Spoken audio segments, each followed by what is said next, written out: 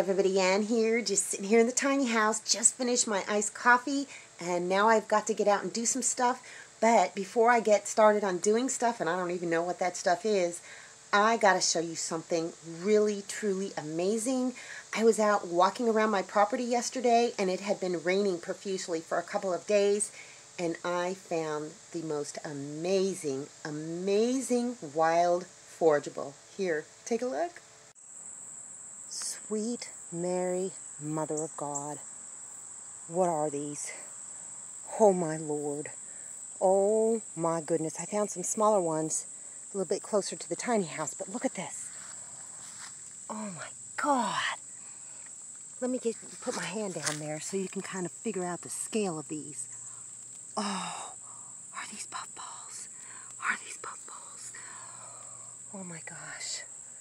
Look at Look at all of them. I'm definitely going to pick these. Oh my gosh. Look, look at how many there are. Oh my goodness. I need to make sure that flesh is white. Look at how huge. Oh, Lord, have mercy. Okay. Those little bee beetles better not. Oh my I cut one open and the flesh is white. It smells beautifully mushroomy. And I think that these, I think something's trying to eat it. I think these are puffballs, but I'm going to know for sure. Oh, I don't know if I can do a spore print. Oh, don't worry, I'm not going to eat these, but look how big and look how many more there are. Oh, Lord, have mercy. Lord, have mercy. Look at all of those I've harvested. My bag wasn't big enough. I had to split it open. Oh my gosh, I just know these are puffball mushrooms. Look how huge those are. Here's my hand. They're so big and they are all over. I photographed a few others that were like, you know, up in that area over there. But look at, they are absolutely all over the place. All over the place. So I don't know if these are going to get as big, but I am so excited. Oh, Oh, uh, I'm not, I'm not going to touch it. I'm just going to leave it. Here's one of the first ones I found, considerably smaller than the other ones in the other patch further away. And look, a little critter had been eaten out of this one because critters know that these are delicious non-poisonous mushrooms. I was so thrilled when I found these two, but then I found a patch of bigger ones. Look how big that is. I just can't believe it. And here's one just a little bit smaller, but yes, they are definitely puffball mushrooms. They may even be of the giant variety. I'm not sure, but they are are choice edible mushrooms, and yes, I am going to eat them, and I need to prepare them fast. One thing you got to be careful about when you see one of these mushrooms and you think it's a puffball mushroom is that you don't mistake it for an immature veiled mushroom of some kind. Those kind of mushrooms will look like a puffball mushroom when they're immature, but then they burst out of their veil and then you can see the gills underneath. So you've got to slice through the, the mushroom to make sure it is a pure white flesh and that it's solid, spongy, and that it is white. If it started turning brown or black or purple, they're past their prime and they're just at the stage right before they're going to explode their spores into the atmosphere. So make sure you cut through the flesh. There's no evidence of a stem or gills or anything like that. And then more than likely, you've got yourself a delicious choice edible mushroom. I did go ahead and eat this mushroom. I just got some ghee, put it in a pan, and I sliced this mushroom up and cooked it, sauteed it in the ghee, and it was absolutely delicious. Oh yeah. You guys have no idea how exciting this is for me. Those mushrooms, they're a delicacy, and to find as many as I did and as big as they are, Whew, I just can't believe it. That's a blessing. That is a blessing from above, that's for sure. So I'm going to cook them up today. I probably won't like film what I'm going to do. I don't know. Maybe I'll take a photo or something and share it later. But I've got so many of them and they won't keep for very long. So I've got to figure something out of what I can do with them. I don't even know. Can I pickle them? I don't know. I don't have any way to adequately dehydrate them right now because the humidity is so bad. There's just no way I'm going to be able to dehydrate those just by putting them on a tray out in the sun.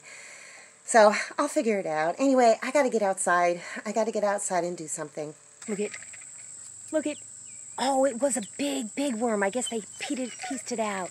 They were chasing each other. Big earthworm. It was as big as my hand.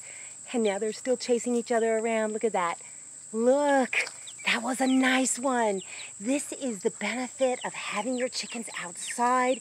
That unlucky worm just kind of slithered over here. And they're still fighting over it. Oh, this is hilarious. You're a good girl. well, it's supposed to rain today, and it is so hot outside right now. We had just a little bit of sun a little earlier.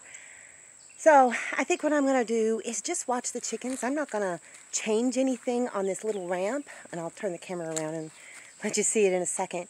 Um, you guys have given me some great ideas, and I just have to decide on what's the best one. Oops, it's starting to rain right now.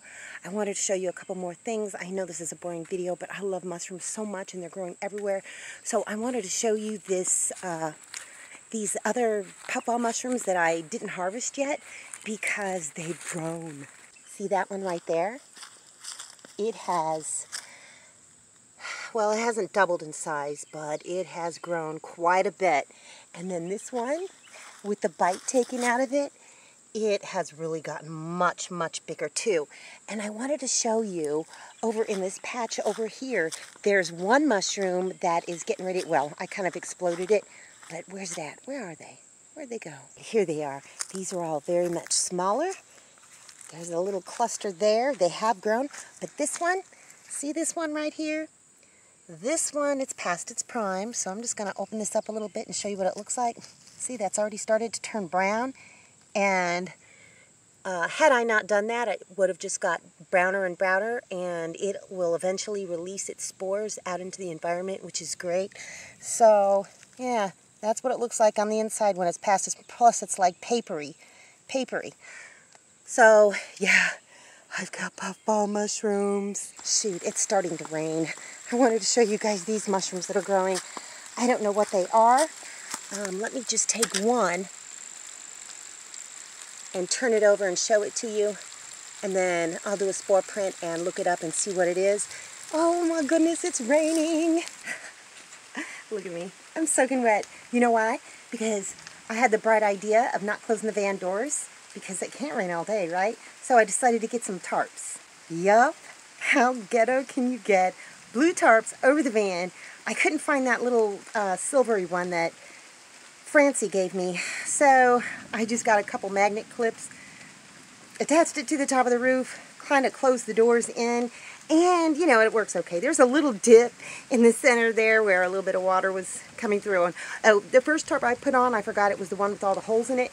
So I put it, had to go back and find another one, and then it started flying up, so I put the little stick on top. I don't know if it'll last, but um, at least it's not raining inside. I could have removed the ramp, in fact I should have. It would have taken me less time and I would not have gotten drenched. But I need to think about this. I need to think about a better solution for when it rains. And am I just going to close the, the van doors every time? Uh, it could rain off and on all day. Or am I just going to make a little shelter for them over the top so that their bedding inside doesn't get all wet. Now there's some wet bedding in there right inside the door, so I'm going to have to take that out and replace it because you really don't want soaking wet bedding in your chicken coop. So I thought I'd just share that with you. Well, all this rain didn't seem to bother the girls. They're back out hunting, pecking for food. So, yeah, I'm going to figure out a way to keep the ramp open during the day when it's raining so that they can just come and go as they please, but then I'll protect the bedding inside the van. This is incredible. I just love these chickens. They are just so much fun to watch. And unfortunately, that's all. That's all I got today. It's clear I'm not going to get anything done. I wanted to show you some more cool mushrooms I found, but not in the rain. Nah, I'm just going to go in, edit this video, upload it, and call it a day. Anyhow, that's all I got for you guys today. See you in the next video.